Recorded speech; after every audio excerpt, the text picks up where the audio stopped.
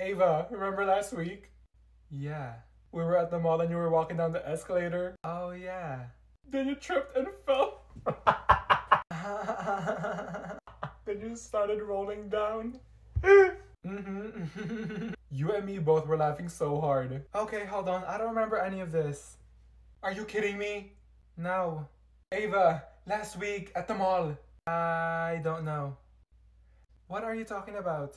We were at the mall and we both were going down the escalator and you fell. I did?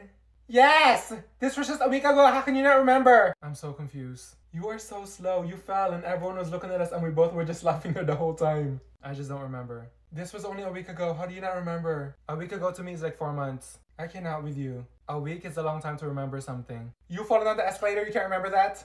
I just don't. You know what? Never mind.